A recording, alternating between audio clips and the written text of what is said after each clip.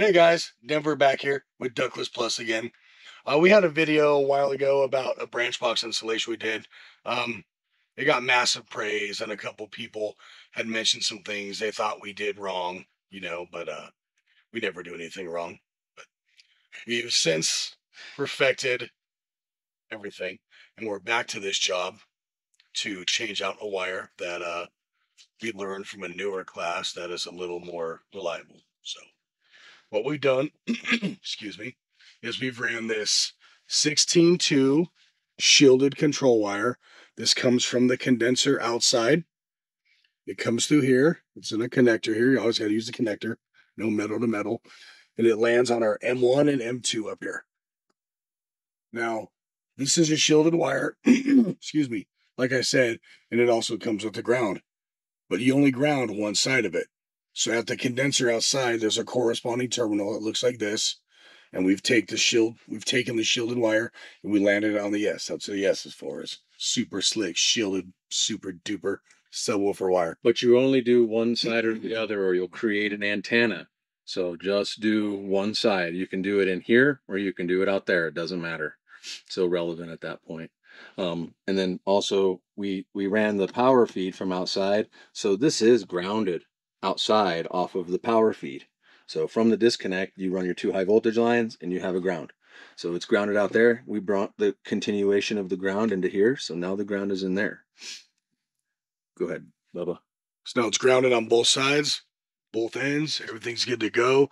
We have our 16 gauge shielded communication wire that's in there all by itself, all isolated. It is grounded outside and not inside, so we don't have the antenna effect and this branch box is ready to go back together and kick some more butt. Those are dip switches. uh, depending on your zones, we actually added a zone to this as well, a third zone, which we're in the process of finishing up. So if you remember from the addressing, there's a switch bank in here, right here.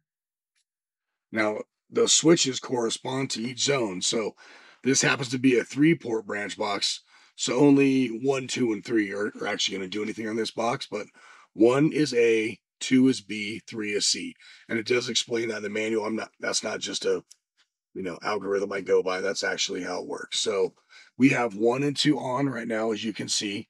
We are going to turn on number three. We just wanted you to be able to see that. Jared's going to go ahead and flip it right now. And also, this is your address for your branch box. So you always make this 01. Um, the condenser outside is 51. So 51 and 01. Denver can get a little bit more specialized on that as far as why we do that. Yeah, so the 01 and the 51, those are just designations for the com loop circuit to know what it is. So condensers are always designated with the the 5 in front of it, the 51 to I believe you can go all the way up to 59, depending how many branch uh, condensers you have. And branch boxes is 0, 1 because they're 01 to 50. So we have this set 0 and then number 1. 0, 1, meaning this is the first branch box in the loop, although it's also our only one. This is number 1. So it's 0, 1. And then outside of our condenser, we can show you later, is 51. So, I mean, essentially, if you wanted to, as long as you only have one branch box, one condenser, you could make it 02, 03, whatever, but you have to match that outside. So 52, 53. But we're only using one, so we just like to stay with the 01, 51. But if you've done it differently or you've seen other people do it differently, as long as they match it on both sides, it'll still work. Uh, we label our line set links here. Um, this is going to come off. We're going to add this one and then redo this, obviously, because We've added a new zone, so we have to account for that refrigeration pipe. And we are going to redo the DSB, which you better be doing on all your systems because now the refrigerant requirements are going to change. So we're going to have to add additional refrigerant to compensate for that new zone we added. And this thing will be good to go, ready to rip and provide comfort for many more months. Oil. Don't even home without it.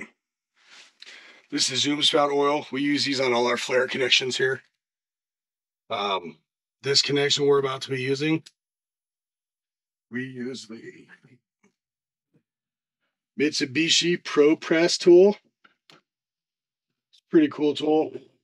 Saves your hands, saves you time from doing the old school hand flares. As I know a lot of you people out there that have watching these videos to learn this, you've probably done, and this just makes it better. The uh, fitting has dual bands in it that actually get crimped down. I don't know how well you can see in there. There's also two O-rings in there to help with the seal.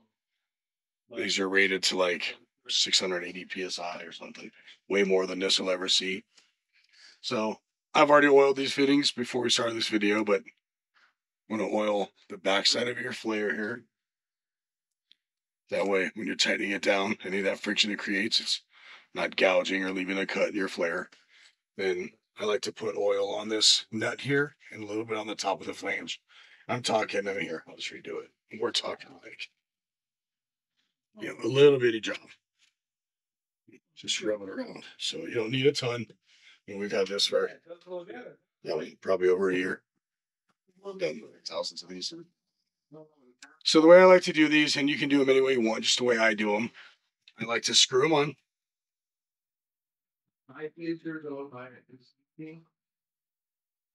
Okay, you see this uh, raised part here, the hub. That's where your pipe is actually going to land in there. That's how you know you're sealed all the way. So I bring the insulation back, it where it's going to be. I just take my knife or whatever, and I go from the edge. I just make a mark. So that's where I'm going to cut it with my tubing cutter. That way I know I'm deep enough and uh, it fits in there just perfectly. Then we crimp that boy down. So I'm to go ahead and cut it real quick for you. I'm sure you guys have all used a cutter, or some of you have, some of you haven't. Pretty easy tool. And again, I just put my blade on the mark that I made. I like to do three spins, quarter turn. I like to not go too fast. If you go too fast, you can fold the edge over. Can oval the pipe. But it doesn't work, just get it. So you see there, and a nice clean little cut.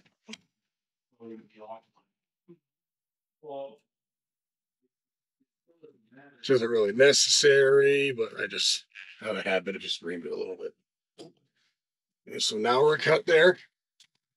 You can do it one of two ways. You can push it down in your fitting, but because this is already folded up the wall here, the best thing to do would be exactly like that.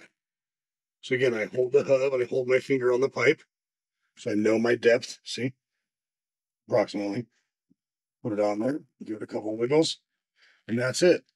It's close to my finger, so I know that's about where it needs to be. So I got my Pro Press, I got my appropriate die on there, which lives. they're all labeled quarter inch and three eighths. This is a 12,000 BTU head, so quarter three eighths is our standard line set size. So make sure you have the right size on there before you go pressing.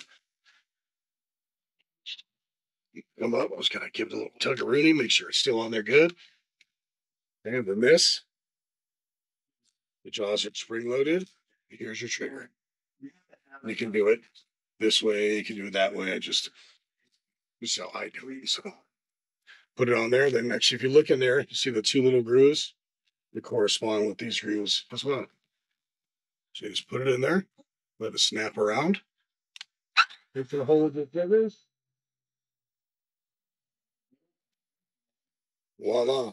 You can see that's compressed really well between both of those, or I guess all three, around those where those seals are. You know, those get squished down on the pipe, they crimp, crimp, crimp. So we have essentially it's crimped in three spots and sealed in two. And that's it. That's how you do it. So that's the pro tip of the day. You want to use the Milwaukee Pro Press if you want to be a pro. Another quick little thing I want to tell you. When you're tightening these flare fittings on, tighten them by hand first so you get them tight. If there's resistance or you got to force it and it doesn't go all the way down to where it's snug by hand, it's not right. Strip it out. You have to cut this off, flood it with nitrogen, braze on a new tip. You don't want to do that. Uh, you know, I wanted to show you some of the factory flares that come on the line sets. Um, never use them ever. Even if you're using a hand flare tool, cut them off and redo it. So this is the end of a pipe we've cut off. So I'm just gonna take the flare nut off for you. I don't know how easy it is to see or if the camera can pick it up. It's a terrible flare. That's a factory flare also. So never use these. Um, It's got chafing on the inside. it? yeah, it's chafed. It's there's stress cracks, which kind of hard to see right inside the lip. And there's actually a secondary lip you can feel with your finger. I don't know if you can see it on camera or not, but it's just a terrible flare. What happens is you put something on like this, you start cranking, it doesn't feel tight, you keep going before you know it, you've ripped it right off. So don't use these factory flares, cut them off, bare minimum. Um, also, if you can, don't use the flare nuts that come on these line sets. They're not great, you know, they're whatever. Always use the Mitsubishi one. I mean, you can see the difference in size. Right. These are metric, these are standard, and you're using your torque wrench to tighten everything down. Um, it's just better to use what you're supposed to use. You can use these for your initial tightening. And then you can go back through when you're ready and use your torque wrench and give it a little crank till it goes off. Um, we're not ready with this one, but uh, we'll make another video with the torque wrench ready. Show you how it works. Pretty cheap, but uh, don't use these flares. And one one other thing about the Pro Press, the flares that we use there, they're like three times the thickness of this. They're all machined, so you can really, really get a good crunch on these that you can with these. Hope you learned something. Pro tip number two.